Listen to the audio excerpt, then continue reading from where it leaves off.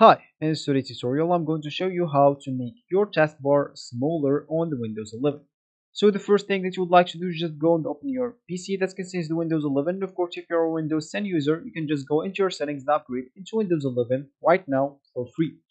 Of course, the upgrade from Windows 10 into 11 will not delete any files or personal files or even documents from your PC, so don't worry about that even then the apps will not be deleted the only thing that's going to change is windows 10 into 11 of course you can run even the upgrade or the download of windows 11 into the background of your pc if you want to keep using it in the meanwhile. Of course your pc might be a bit slower but it's not going to be a big problem and you will not even notice the difference if you have a good pc of course once the download or installation is done you will be notified to restart or to reboot your pc when you do that you will find yourself with a windows 11 ready to use.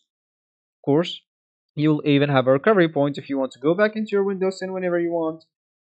But I bet you'll not do that because you, when you get used to Windows 11, you will even like it much better and not most likely to, to have you have any problem in Windows 11.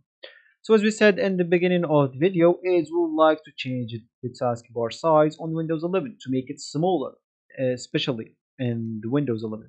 So to change the taskbar size on Windows 11, we will have to create sorry the recording was cut so as i said to change the taskbar size on windows 11 you'll have to uh, create a taskbar uh, sid word on the advanced just registry so how we can do that we first of all have to go into the start menu. You can press the windows key on your keyboard.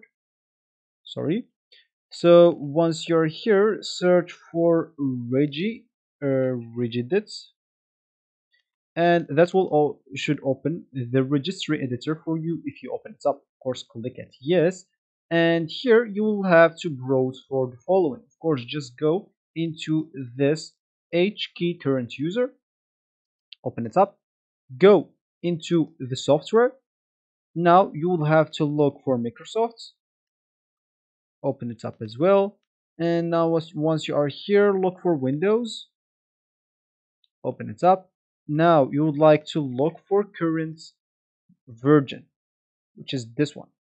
Open it up as well. And now open Explorer, open it up, and now go into advanced. Sorry, just go and type advanced. Here we are. Here is the advanced. So once you are here, make sure to right click the advanced and then select a new then click on the word 32 byte value once you're here of course make sure to name it. Taskbar. Bar si and press enter. Now you will have to double click it. Once you are here simply and change its value from 0 to 2 to change the taskbar icon size to large or the value 0 is for the small size and 1 for the default icon size so if you want to make it small you can click at 0 and then click at ok. And now simply you'll have to restart your computer. Of course as i said you can just go and modify it. If you want to have the smallest option you can click zero, one for default and 2 for large.